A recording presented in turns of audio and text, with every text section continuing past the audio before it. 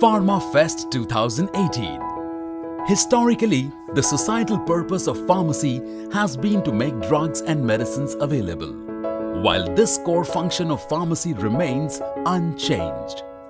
Education of pharmacy is taking a step ahead and providing the spotlight and skills to the students of the nation.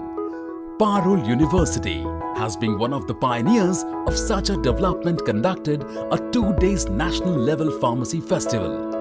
Pharma Fest 2018 to unveil the students' hidden talents.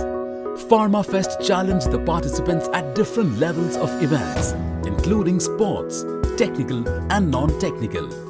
Organized by the Faculty of Pharmacy, the two days fest attracted around 1400 participants from more than 25 institutes nationally. The fest captured the zest of various technical events focusing the gusto, excitement, energy and team spirit of the participants. From presenting the working models to documenting the world of pharmacy, the students left everyone spellbound with their skills.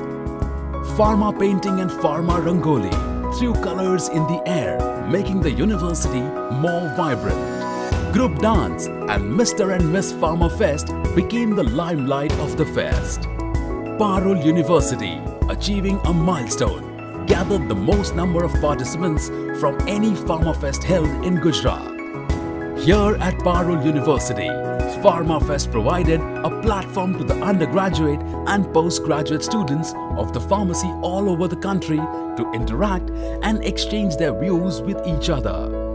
Parul University will continue this convention by organizing more such events, hoping to boost the students with new energy and will make sure to keep creating such landmarks in future and providing more experience and exposure to the students in the field of pharmacy.